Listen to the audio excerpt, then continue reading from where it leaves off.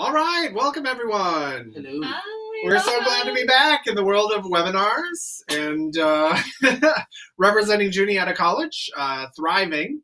Uh, webinar really for the parents of our incoming students, but with information relevant to all parents and families and to students. If students, if you're tuning in, we welcome your uh, viewership as well. Actually, we'll take all people who want to be a part of our webinar experience. Anyone with questions? My name is Matthew Damschroder, and I am Vice President of Student Life and Dean of Students here at Juniata College. It is a pleasure and an honor and a calling to be present in this space with you. I forget that there's a need for an introduction every time. There is, because every episode is a new opportunity to embrace, embrace the public. Hi, Davion Clayton, uh, second year engineering physics POE here at the school at Juniata, thriving um, and having a good time. That's I right. try my best. A living example of our work and success. Even though he's upset that I, I'm wearing my um, high school sh- sweater.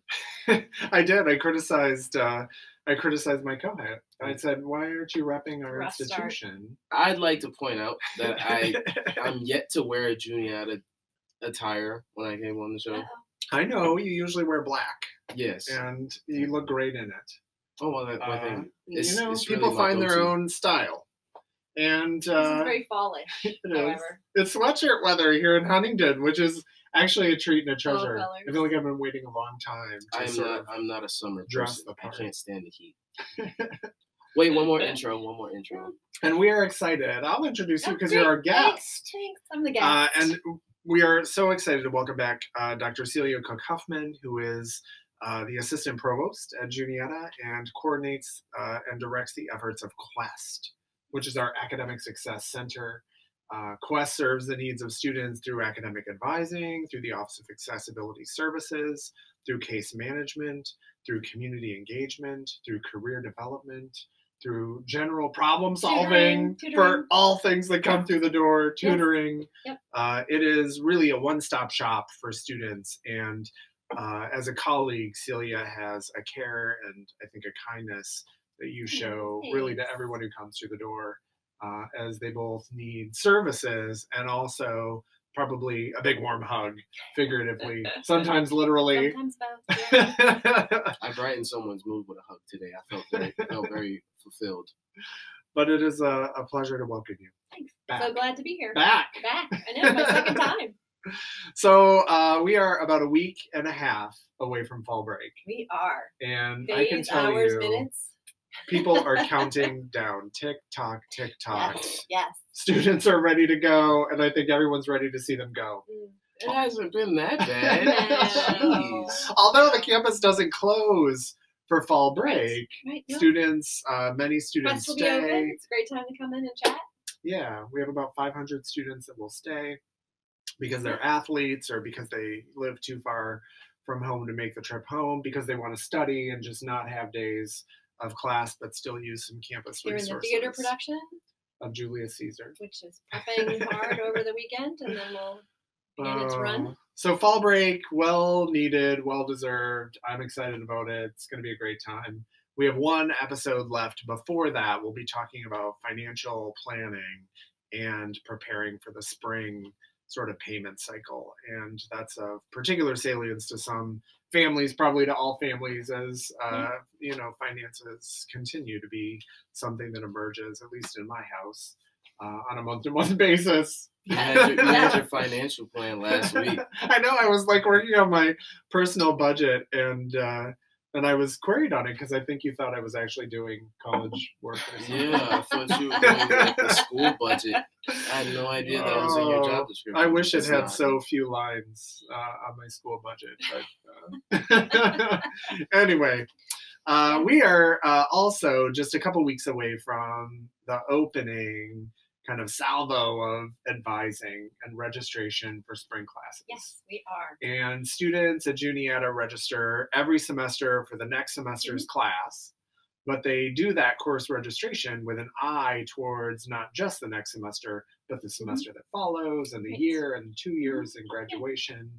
Uh, and Yeah. it's an evolving plan, but it's a conversation, I think, that happens during the advising Mhm. process and, and through those relationships. I'm one of Davion's advisors? Does he give you good advice? Um, for the most part, I haven't asked for it. I'm new to the role Oh, for that's awesome. you. Usually- you, maybe you give him advice. I don't feel like I'm that wise yet. Oh, I I do take good good direction from you. Usually, I just come in here and we have conversation. If I if I'm in some sort of uh, situation or whatever the case might be, we just talk through it. Yeah. That's usually how it goes with most of the people that I talk to around Yeah. here. Um, Cy, who we'll be seeing later. But Ah. whenever I have a conversation with her or Dr. G or Tasia, they solve all my issues. Yeah, nice. I got people around here. So what's beautiful about that, or my observation of that, is that students have many advisors on campus, and we Mm-hmm. Talk about a two advisor system. Yes. But students have many Mhm. advisors. Can Can you talk about why it is part of our campus Mhm. ethos to have at least a two advisor system? Sure, sure. So we understand, right, that some students come in with a lot of experience or expectations or like know what they want to do, and some students come in with a moderate set of those things, and some students come into the college experience without really having maybe navigated college or um, a campus like ours in any way, shape, or form. So we want to make sure that we are meeting students where they are and getting them all the information that they need to be academically successful, but also successful in all aspects of their college journey, curricular and co-curricular. Um, and so we have a two advisor system, an academic advisor and a mentor to make sure that we are having those kinds of conversations that you're talking about with every student, making sure they have people, right, who are who know them, who can attend to them, who can help them think through big problems, what I want to do with my life, what's my purpose and meaning, as well as, hmm, if I know what my purpose and meaning is, how do I develop an academic plan? What courses do I take to make sure that I can graduate in a timely manner? So I, I think you know my experience, and I was one of those kids who came from a small town. I didn't have family who could help inform my decision making. I was really counting on the people Mhm. Kind of at yeah. the institution to help me even figure out what it Yeah. meant to choose courses and you know make them speak together in, a, in a coherent curriculum. Mm-hmm. Yeah. You know what, and and so there's kind of the higher level piece of that Mhm. kind of discernment around vocation and career. And then there's logistics. Mhm. And maybe Right. we'll set that aside for the moment. Okay, sure. You know, for students who want to have those conversations around who they are Mhm. and how they incorporate their values into a Right. career choice, Mhm. how, how might they find their pathway to that Mhm. conversation? Sure. So every student has, as we said, an academic advisor and a mentor. And part of the mentor's job really is to help with those big thinking kinds of questions, to ask, to help students just think out loud and explore, um, and invite students to talk about, well, what interests you? Um, how, how do you figure out what you're interested in? What kind of courses, given what you might know about what you like to do or what you don't like to do, what kind of courses might help you then figure out your vocation and your path and what you would like to do with your sort of personal and professional life after you graduate. So mentors are a great resource for that. I think just the nature of the school being a liberal arts school, it gives you the well-roundedness in your classes, even if you're not ready to talk to. Now we we mentioned last week um, finding the right people to talk to, even if you don't know who you want to talk to as of yet, your classes will likely round out your interests and uh, you'll start leaning towards where you want to go. Well, I remember when I was, you know, and and I'll, I went to college at least five years ago. I'll date myself. Yeah, me too. But I- me I too, remember- now that you mention it. I remember my, you know, very high energy Mm-hmm. orientation leader handing us. It was on newsprint. It was like the course listing, That's great. right? Yeah, and it sure. was all the different courses that that Mhm. we would select from. And I was overwhelmed by it. I mean, Yeah. there were a thousand courses, or it Mhm. seemed like a thousand courses to sort of clock through. And you know, I said, "Well, what? How do I?" Pick? And Mm-hmm. she's she said, "Just pick five. They'll eventually count." yeah, you know like just pick some things that interest you and it seemed so hard to wrap my mind around that how how do students kind of lay out a schedule what sort of resources are available to help guide that kind of planning for students maybe who are more structured Um, Okay, well, you wanna tell us what you've done. I think I think our scheduling assistant through Moodle is it? You know, Uh, it- You you know, I know you the go through Arch. Arch. Oh, it's through through the the Arch, Arch, right? okay. So Yeah. course, this course scheduling assistant. Yeah, it's one of the online resources, but I thought I thought it was like a um sub like a subcategory for Moodle or something. But I'm wrong. But So you go. I usually He I, finds it. Don't I worry. find- He's I registered for class. The link is right there.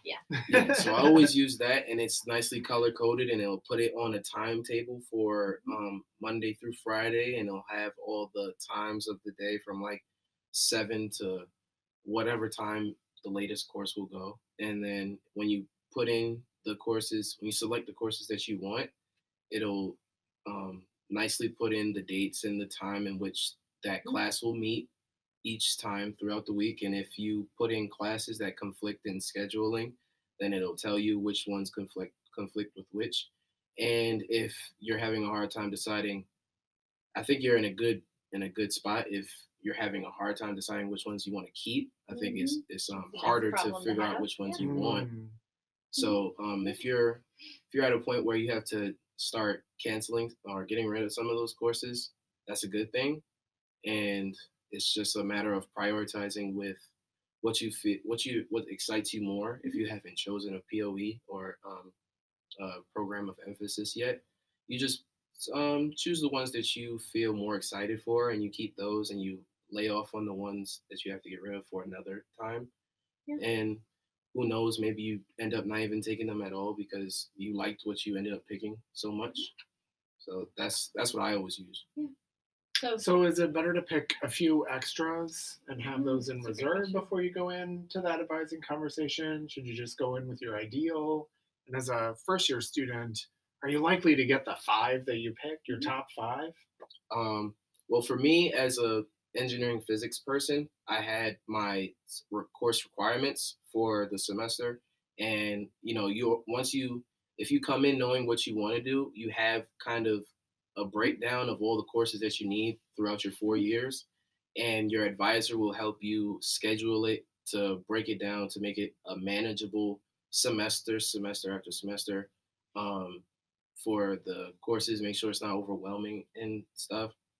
If you don't, if you're not in a position in which you know what you want to do and you need help um, selecting which courses you do want to take, I think it would be better to have the ones that you know that you want to do. Like I personally know I want to take sociology and psychology at some point. Mhm. and I, you know, I keep that in my pocket. I have, I'm yet to be able to take those courses because um, course requirements and other things in which I ended up wanting to do a little more than those. Yeah, I ended up taking last semester, but I still have, you know, the psychology and sociology um, kept with me. And whenever I make advising appointments and I speak about if I if we are speaking about my next semester, my next um, course uh, enrollment, then I ask about if it's a good idea. Um, will I be able? Will I likely be able to manage it? Does it seem like something that's um, going to, in the long run, be a success for me? If it's going to work for me, if it's a good idea. And what seems like helpful is that because your academic advisor is also a faculty member in your discipline, they can tell you, I think, what the demands of those Sure. higher level classes Yeah. are. right way, kind of, do you have a, the right sort of breadth of, of um, courses and can, right, what's the workload going to look like and how is it going to be across those courses? and they, they always like they they have the advantage of seeing seeing it through with the students that have come before you Mhm. so they'll know just by um, what they heard from their past Sure. advisees like what what's a good idea what seems to be manageable based on the re- Mhm. required course load Yeah. and what you're trying to take on as well Yeah. So the kind of sensibility is that students take about five classes Yes. or about, yes. About Five, 15 15, 15, hours. hours, 15 credit hours. but it's or okay to go a little less. A little more, a it's okay little to more. go a credit more. Yeah, 12, 16, 13. Yeah, It gets challenging, I think, when students get into the space of 18 Mm-hmm. credits. yeah So it's both, I think, like too many credits, but sometimes it can also be because there's maybe you have some smaller credit classes and also juggling like six or seven classes, right? It gets overwhelming just in terms of finding time for, right, the other things you need to do to rest and relax a little bit, study time. So, that'll do it yeah. yeah, so five is a great number. You talked about the course scheduler.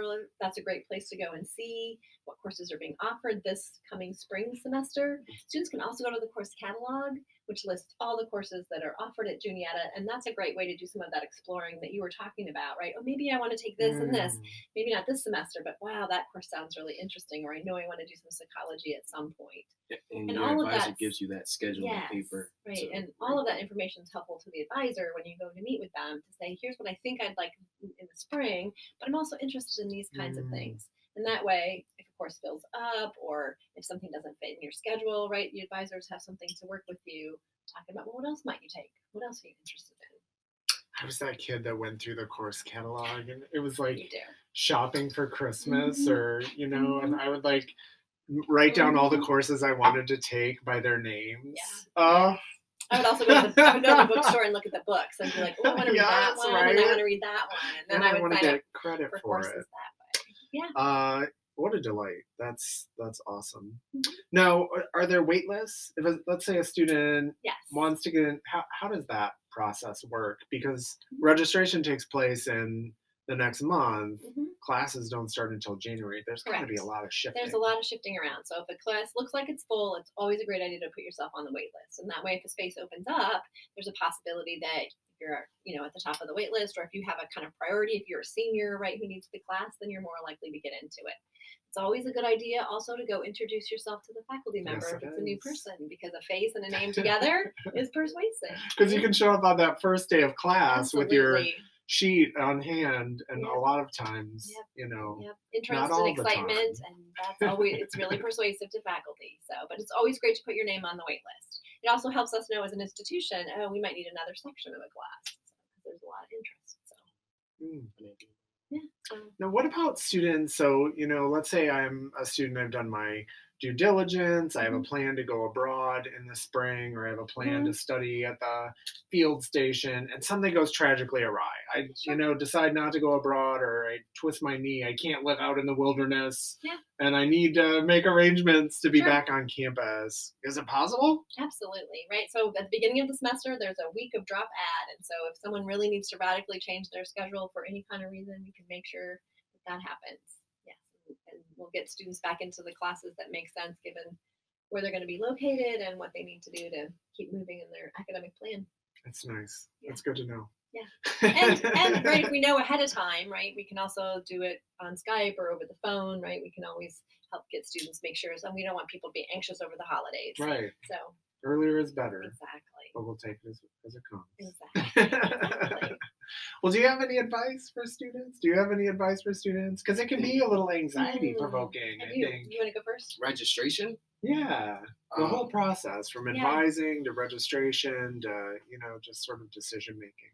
I think when it came to deciding for me, um, like I said, just which which courses did I were was I interested in uh, before even before I came to school, um, outside of what I wanted to study um, primarily.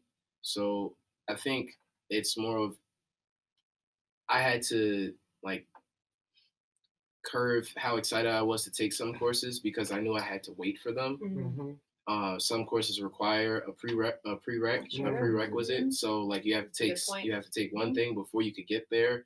So um, just Yeah. trying to calm yourself and pace yourself um, Yeah. and just kind of go along for that ride and just enjoy uh, the courses that you'll end up having to take and then you kind of uh, appreciate it more when you get to those courses that you wanted to take. Mm. so just take your time um, get the the boring uh, required ones out of the way um, and you know you'll get to the to those courses that you want to take eventually I have to say, I was looking over and we had uh, Dr. Dries on talking about the first year curriculum and the first year seminars look amazing. Yeah. I kind of want to take like They three or great four of titles. them. Yeah, they look exciting. Uh, i didn't get Mhm. any of that I know, right? i'm Mhm. very jealous Although upper division students had a chance last spring to preview some of those. Yeah. I'm just saying. Yeah. Uh, but I want to take like three or four of them, and Mhm. uh, I think that is a once and done Yeah. opportunity, right? Yeah. So, well, good luck. And I would encourage advising for Professor Damschroder for the first year foundations class. I've heard he's really good. I've heard that too. I've heard rave reviews. He's alright. Wait, so can I get my advice? Yes. All right. Uh, be curious, be brave, and ask good questions. All right. And not like faculty advisors, absolutely, but as you've, I think, sort of indicated, ask your friends, right? Mm. There's lots of good advice out there and, and information about courses and experiences. So, And if parents are sort of hearing distress from their students and sort of, or students are asking questions, families don't know maybe what those answers are, who to go Mm-hmm. Sure. to. Is Quest a good contact for them? absolutely, we are Is- happy to answer parents' questions if there's something that, yeah, that seems confusing or you're not quite sure how to help your support your students to find the answers that they need. You can always call us. We are happy to chat with parents. Request a junior at juniata.edu. Yes, us, absolutely. Mhm. And I would say, right, if your students are asking questions, ask them. Have you seen your mentor? Have you seen your aca- advisor? academic advisor? Um, because if they haven't yet, those folks will have answers and, and help as well. Well, Celia, thank you so much. Thanks for having me back. It It was was, a great to be here. Always a pleasure. I look You- forward to the next time. You need to be in your office the next time I come. All over. right, I'll, I'll do oh. better. Oh. I was right? expecting a hug. Look at and I didn't that. Sorry, I'm sorry. I'll try not to fail you next time. And Oh my and Dan, gosh. Dan was at the at the vet, so I didn't get to see either cook-off cook-offins that day. Or the pet, I was very disappointed. or disappointed. the new puppy, Finn. I saw who Finn. is I saw the puppy too. A Bernoodle. a Bernoodle. Oh, ah, and such a Finance little edition. beauty. Yes, yes. All right. Well, thanks for Thank having you, me, Celia. and I will see you all Take soon. care. I will. You guys as well. Well, uh, our second guest, and we're excited uh, to welcome her, is uh, come on over, come on over. She she had her set up with pillows. We have Oh, a okay. low, we have a low chair, so oh, we have a low it's chair. a little, okay. it's a cushion to raise you Okay. up. I think I'm good. Remember Josh Groban? I lift you up. I lift you think up. That's. Just if Uh, you see me falling, reach out. I got you. okay. Well, it is a delight, I think, to welcome, you know, one of my most just valued colleagues, a beautiful person, an incredible educator, Dr. Cy DeVries. Oh, that's me. From oh sociology. It is a Uh, pleasure But, but the beauty is, you know, you're trained in social justice issues. You're trained in thinking critically about the systems and institutions that sort of shape and guide us culturally and helping students to make visible the invisible, help mm-hmm. them to be the change they want to see in the world. And now mm-hmm. you're moving from a classroom faculty role in part to the Office of Equity, Diversity, and Inclusion to shepherd our Plexus program, to do campus wide programming around diversity and inclusion and equity, to really, I think, give practice space to the work that you've been doing in the classroom with students and, and helping them to engage in. And I love seeing you in the role. And it is just a pleasure to sort of welcome you here to, to talk with our families. It is a joy to be here. Um, the praxis has always been the challenging part. You know, academically, you can assign a reading, you can say a thing, you can rely on uh, the champions of the past, but then to actually put that into motion and to be of assistance to students and faculty colleagues as well is is both challenging and super rewarding. So Yeah. I'm grateful for this opportunity. Well, you have been a Juniatian for a while, uh, as I say, at least five years. At least five years times Uh, four. but for some time, and you know, it's it's uh, wonderful to see students come back to serve on the alumni advocates panel, and you had them in class as undergraduates or students to come back at homecoming, and you know, to see you have those connections with them. But you've seen a lot of how Juniata has evolved around equity, diversity, and inclusion. Can you speak to some of the improvements that you've seen that have sort of brought you joy? Well, I think the thing that thrills me most is the presence of an infrastructure. And so when I came, um, I have the dubious distinction of being the first tenured African American faculty member in the history of the institution. Huzzah! Huzzah! yeah, it's not been an easy route, but um, it shows you the degree of change that we've come through. So, the first thing that I really celebrate is the development of an infrastructure. We didn't have an Office of Equity, Diversity, and Inclusion in um, 2000 when I came here Mhm. that didn't exist. Um, we now have a Dean of Institutional Equity and Inclusive Excellence. We started with an Office of Diversity and Inclusion. Now we're an Office of Equity, Diversity, and Inclusion. I've seen an incredible increase in the number of minority students. There were five African American students and six Hispanic students when I first came here. Mhm. Um, and now there are the numbers are, have grown, and I should have looked that number up. I don't have an exact number, but it is a significant portion of our student body. About one in five of our students one. identify as students of Uh, color. yes, and that is from five to one in five is an amazing transformation. Yeah, it's wonderful. It feels really, really good. Did, did, did you did we tell you about the we had a meeting on Monday. Um we he, he was in an earlier episode, Calvin Bembry. Ah, Calvin Bembry and Dr. Well, did you did you have part in it too? I didn't. I I helped the coordination piece. So I'm I'm a behind the scenes Okay. So Dr. Cy was in it. Um, Dr. Marita Gilbert had uh, part in you know the behind the scene constructing the the group as well. But Calvin um, spearheaded the the group the group on Monday. It was called um, it was just a Men in Color group, oh, that's and- awesome. and we it was the number was pretty big. I'd say it was the most um, men of color I've seen in one in one place here at any given time, and it had to be about twenty to thirty of us. Oh, that's wonderful. And there were some people that were missing too, um, that that I knew of, and um, they just weren't able to make it. They had um, previous obligations, but it was it was a great to see. It was a great time to be there. Um, it was only for an hour because it was the first it was the first meeting, Mhm. and uh, we were just trying to make sure that we had a time that everyone could meet. But it was it was really great to be around other people that looked like me. There were also Hispa- Hispanic men there. Um, there was a I, be- I don't know what the proper term is.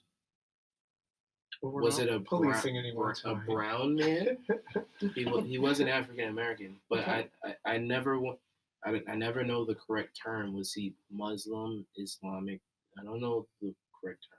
I don't know the student, so I don't know how he He identifies. he looked but Middle Eastern. Well, we don't Does need Does to that work? Does that work? that works. Okay, That so there there was um There was Okay. diversity in the it was a lot, and I was Even among surprised. men of color, there's a great deal of diversity on our campus, and that is also super exciting. it was a great time because we were able to as as uh speaking for myself as a black man is you have to curve the way that you speak to to people that don't look like you so um it kind of felt nice that i didn't have to put in that filter because i could it's not like i have all these things to say that i kind of just keep inside but it's just the way that you interact with one another. Yeah. and it was it was it felt easy it felt easier talking in that group than it was at any given time that it was last year when when i was here. So i really appreciate that and the numbers will grow and thank you for having part in that. Well, I mean, you know, one of the things that I hear you saying is that there's real value in having time and space with other folks who share maybe similar experiences, similar backgrounds, similar ways of navigating the world. Not that everyone's uh, I- I- entirely or exactly the same, but Oh, there are commonalities. And in a space that is a majority space, you have to temper some of those experiences. And we all do that. And then there are moments when you can sort of relax a little bit. Absolutely. And uh, and creating spaces like that on our campus is, I think, one of the essential pieces uh, of the work that we do and the work that happens in equity, diversity, and inclusion. And some of those are around sort of racial identity and diversity. Some are around religious identity and diversity. Some are around, you know, kind of gender and uh, and sex or sexual orientation. There are a lot of ways that people need to sort of express and identify their identity. and and I really believe in the construct of intersectionality. You're not just ever one thing. So you have your racial identity, you have your ethnic heritage, which is different from your racial identity often. You have your region of the country that you're from. You have your sexual identity, your sexual orientation. You have your all of those things are you. And to be able to genuinely express every component of you is is a gift and a blessing and it's it's a it's an opportunity for growth. Mm. Because if I'm walking around thinking, oh, no one wants to see this, and I gotta tamp this down, or someone's not going to understand my telling of this experience, it makes it a very isolating and lonely place. And mm. no one needs to be there. So whether you're the farmer's son from Iowa or the that's you. That's you. Or if you're the farm girl who moved to the Bronx when she was a kid, you have a space. And it's important to be able to acknowledge who you are and to feel good about allowing that expression to come forward. My my dad says every every time that I go home and I I'm going to be coming back to school, um, he always tells me don't don't change, never forget who you are, and stay be you, stay you. And I've I I've yet to feel like I'm wavering from who I from who I was a year ago when I left, but it's like um, when I leave my room, I kind of have like this um, shell and like just keep myself in that shell. I've I felt like I was missing something. Like I had my how you say intersectionality. I had my sec I had my nerd section. I had kind of I had my athlete section. I had all these sections, but and of the the black men that I knew on campus, I never had them like in a space to have that space um, to ourselves and just be black men.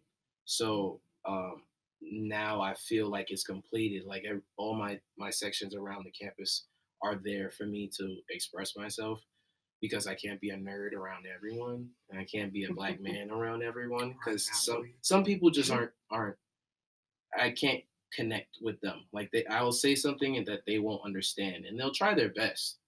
No one around here will be disrespectful to how I express myself, but they just won't understand. Like I the energy won't necessarily be reciprocated. So that, that's that's that's the kind of thing that I was missing. at the same time, I feel like, you know, and I went to school without much exposure to people who are different than me as a farm kid from Iowa. And some of the most enriching experiences I had were across those boundaries, where I was learning, or I was teaching. And I think that that's a big part of the work of equity, diversity, and inclusion. Can you talk a little bit about how some of that emerges in intentional ways? So I think, at least departmentally or programmatically, our goal is to make sure that everyone has an understanding of the value of where they're from and who they are, and then how to share that because it's not a deficit, it's not a problem to be from a minority group or to be from another country. It's an enrichment to this Mm, space. Absolutely. And it's something that's going to really enable you as you move forward in your life. You're not going to stay at Juniata forever. You're going to be here for four years. And you will find that the world has a great deal of diversity.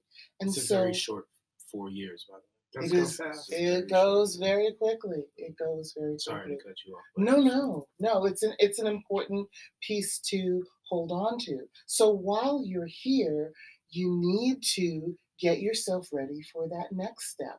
I mean, it would be great if you know just come in, just stay, just take all the classes that you want, stay like you guys, you guys, you guys are still college students. Actually, my dad thinks I am. he doesn't understand my job at all. So I know I'm just gonna let that slide because there are people in the Caribbean that are wondering. She seems so bright as a child. Why is she still in school? So yes, that is a thing. But but the point that I'm attempting to make here is if you spend your time in college being the person that you were before you came to college, it's kind of a waste of your energy and a waste of the opportunity. So use your college space to get to know people that you wouldn't have met back home. because they're not back home, but they are here. In your home community, you may not have people from 24 countries. Here you do. At your home, you may not interact with people who are native speakers of a second language. Get to know those people in this context, understand their community because, well, one, developmentally, you need to do that. You're trying to grow, you're not trying to keep the person that you came in as, you're trying to enhance that person. And second, if you kind of want a job after college, it's a thing that employers are looking for. So it's really important to employers that you are not freaked out by diversity, that you're able to work with and communicate with people who are not exactly like you Yeah. because the world is, the global world is changing. We're having interactions all across the globe, both in cyberspace, but also in real time. And so you use these opportunities in college. Hear a speaker that talks about a place or a thought that is not common to what you've experienced before. Sample a cuisine from a culture that you might not have been exposed to before.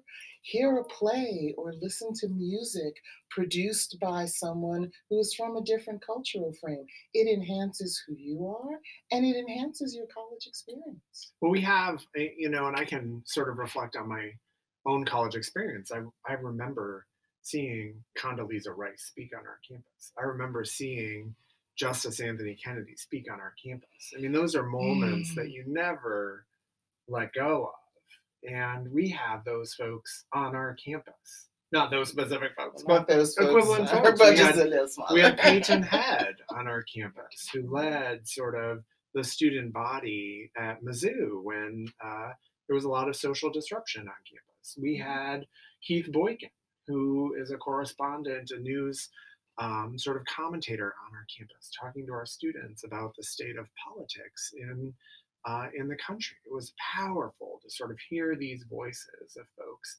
Then they come through different channels, like the EDI Speaker Series, which is ongoing even now. Can you talk a little bit about what we have oh, my goodness. So I'm super excited. Um, on October 29th, we have an award winning playwright from New York City.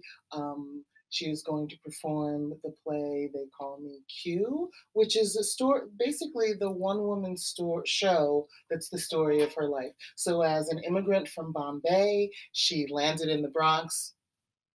Eva, sorry, I'm from the Bronx. It's just a thing. I have to. I love it. I Um, love it. and she will talk about her journey to the American woman that she is now through her high school years and her exposure to African Americans and Latinas and Latinos. And she plays 27 she different plays- characters, right? It sounds Yes. amazing. And I'm really looking forward to that. She's a, a broad, uh, an award-winning Broadway playwright, and she's coming here. It sounds very familiar. It should. It was It should. all over the news a couple of years ago, and we were so excited to have her coming here. To hear. It felt like something I spoke about in a class, like this story specifically. It was like she she was she came from um uh African country, or was it a Caribbean In, country? in Indian country. She Indian country? India.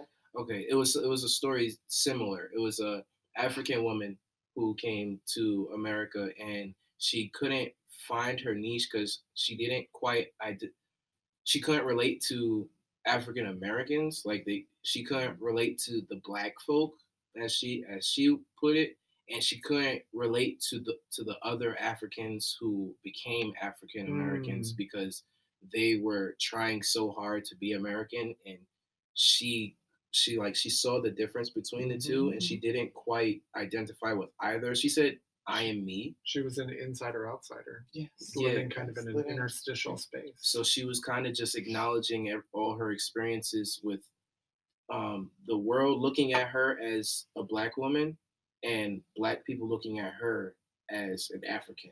It was like, and she felt um, completely isolated and was that kind of what that story is like? And so, yeah, she has a very similar story. She is a woman from Bombay, a teenager at that time from Bombay, and everyone is curious about what she is because she, you know, doesn't appear to be any of the boxes that we put people in um, ethnically or racially. And so she talks about discovering herself in this broad world of people that don't see her as quite fitting into those boxes and how she took all of those things and as you described it keeping that shell keeping that wholeness acknowledging who she is but also acknowledging why it's so challenging for those people that she interacts with.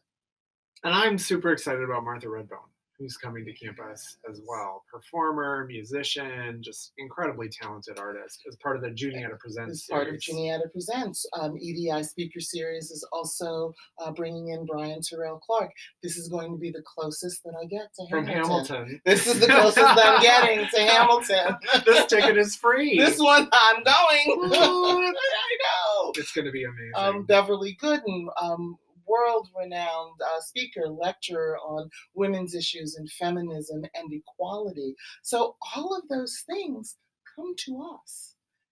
As a student, it's a, it's a marvelous opportunity to take advantage of seeing the world not through your own eyes, but through the eyes of people that have had very different experiences and very different worldviews than yours. It's an imperative and uh, and and I'll hold those up and say every student should go to those programs and uh, encourage you as families to encourage students to take advantage of that. You know, the other program that I love, and it's one of my favorites as a part of the EDI speaker series, is the Who's Your Neighbor program, which I want you to tell us about because it it offers that same opportunity from our own community. So, Who's Your Neighbor was designed to really help students, faculty, and staff see the campus as more than just its educational institutional function. We are people. a radical thought.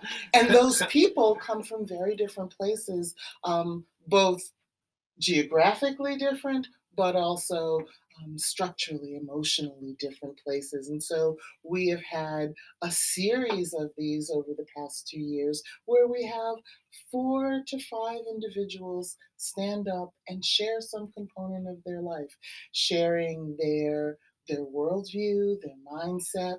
Um, in November, we're going to have a, the second of our uh, first generation Who's Your Neighbor, mm. because I think that when students see the professor or the administrator, they don't think of the similarities that are in their lives. Many of our students are first generation students. This is the first time that they've come to college. They're the first person in their families that have come to college. There's a me too. me too.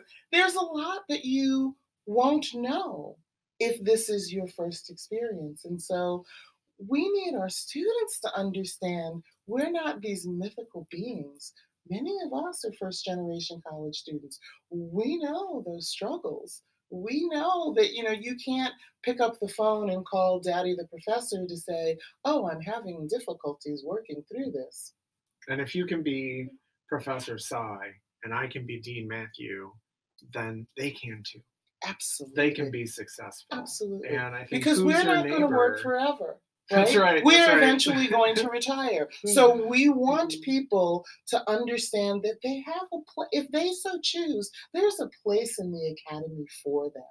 They can set their sights on, oh, I want to help people in this specific way in the context of higher education. Yeah. So I, am so thrilled for Who's Your Neighbor. Um, again, a slate of first generation college administrators and faculty members who will share their stories and hopefully inspire and hopefully take away a little bit of that awkwardness, you know, the story of I didn't know what to do when. First generation students have those experiences. Yep. Those are not going to be um, experiences that stop you in your process. Those are going to be experiences that will make a great Thanksgiving story someday. That's right. Well, um, you know, some of the other programming that takes place is cultural mm-hmm. celebrations. and we have some of those coming up. Can you talk about the value of cultural celebrations on campus? Okay, so I'm gonna I'm gonna combine this a little bit. We like to make um, cultural exploration easy, and what's the easiest way to do that? Food. and so many of our cultural celebrations center around sharing the food of your culture. Um, this weekend, we're going to have the Latin American Student Organization Mm-hmm. hold their um, Hispanic Heritage Month dinner. They are, are selling tickets now. If your students haven't gotten a ticket, they should. And you can Venmo for the ticket, which is seven like bucks. new on campus. Seven Mhm. bucks, cheaper than a pizza. That's right. Just saying, great home cooked food from many Latin American cultures. It's an it's an opportunity to not just eat food from a different place, but to understand a little bit about the culture from that place. Oh, the things that we buy in a plastic bag we think of as tortilla. There are people who come from communities where tortillas are made by hand, like Right. right now, today. Um, and so getting to learn a little bit about that makes exploring a culture easier.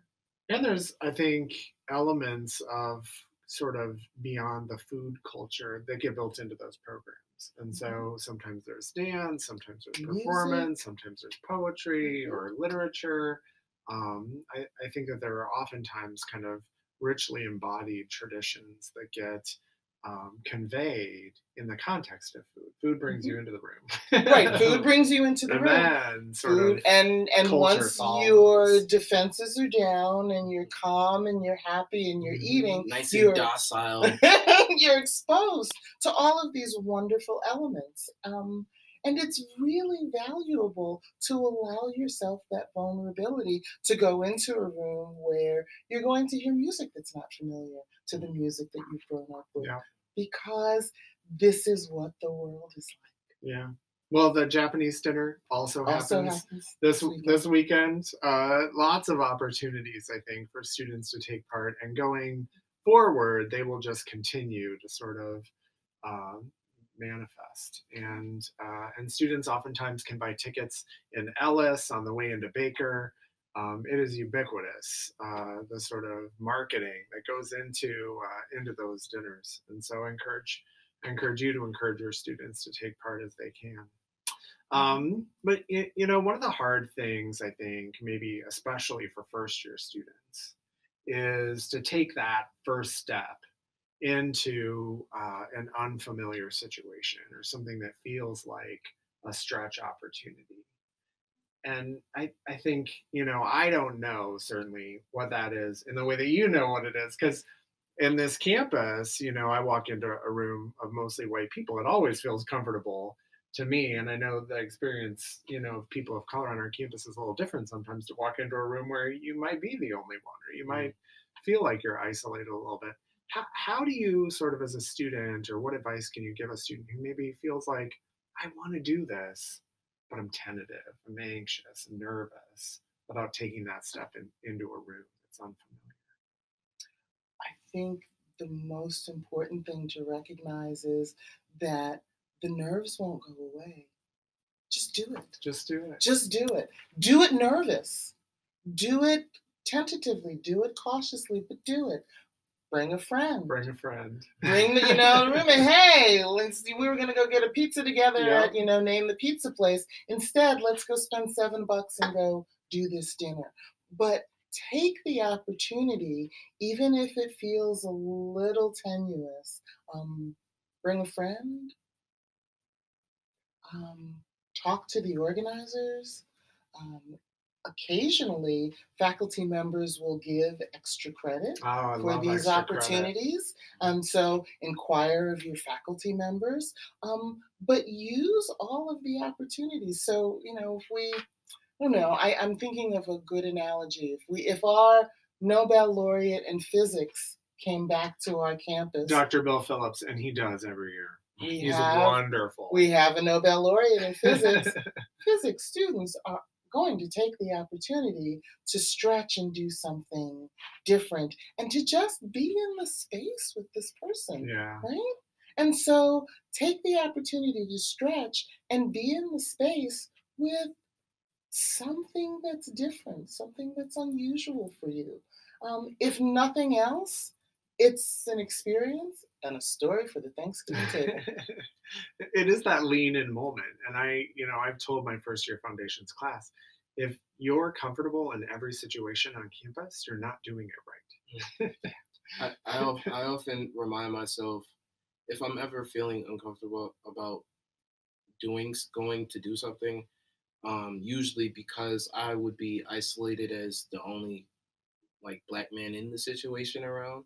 Um, I remind myself I'm a I'm a minority in the first place, so there's a lot of times where I'm gonna be the only one doing something. This I'm often put in a box and expected to stay in that box. So most of the thing most of the things that I do is outside of the box. So I have to get used to doing things that I want to do, regardless of who who might be looking at me, what how I may be perceived.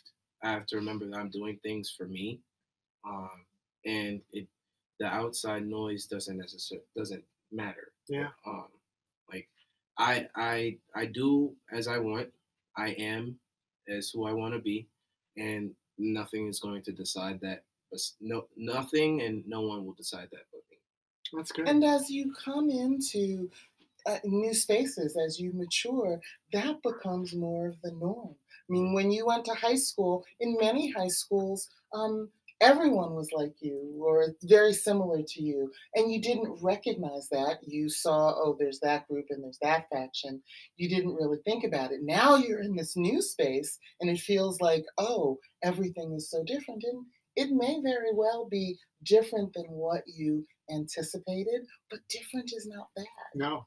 Different is different and that is not to say that you're going to like every new thing that you try. You're not going to like every new cuisine. You're not going to like every new thought that you've been exposed to.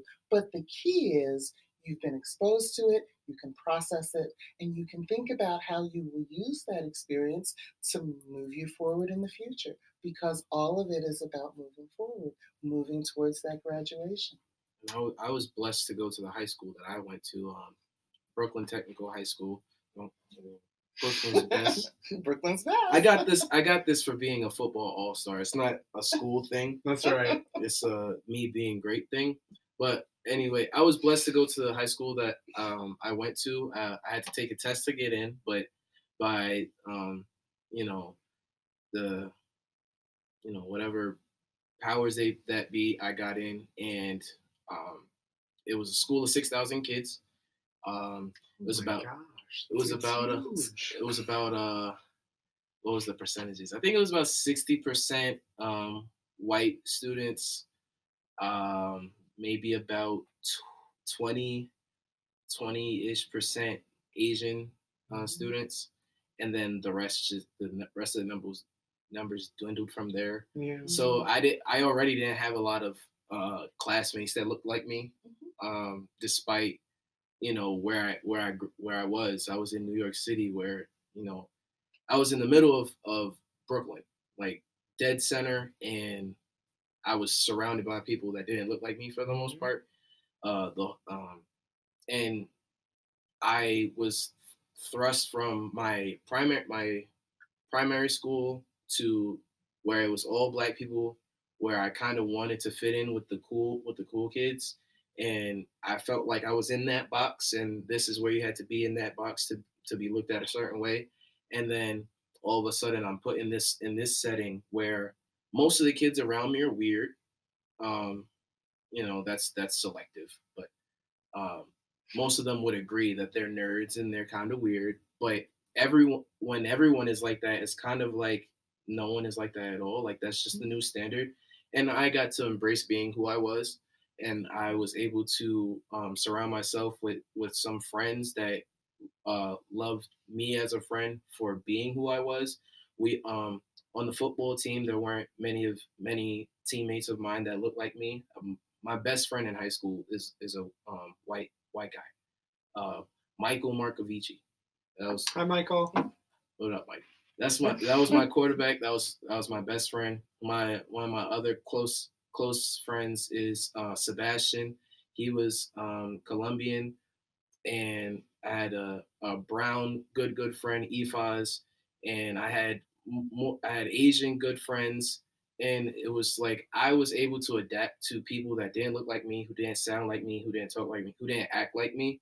And not So- just adapt, but be enriched Be by. enriched. Yes, yes, Be enriched by. Yeah. Really, everyone who comes into your space, into your world, is an opportunity to learn and grow about another experience. And that's the beauty of this place. I think that is why, you know, we sort of invite diversity onto our campus and into our educational environments because it is in those spaces that we have the best outcomes. And it's important to us. It's a part of our ethos and our character and our mission. And uh, and it's richly rewarding, I think. It's part of what drives me to stay in the academy and, and do this critical work. I definitely feel as though like when you're surrounded by people, like I, when you're surrounded by people that aren't like you, they're all like one way and you're a different way. You kind of conform to that one way. But when you're surrounded by people that are all different, none of them are are one select, you know, kind of person, one sort of um, behavior.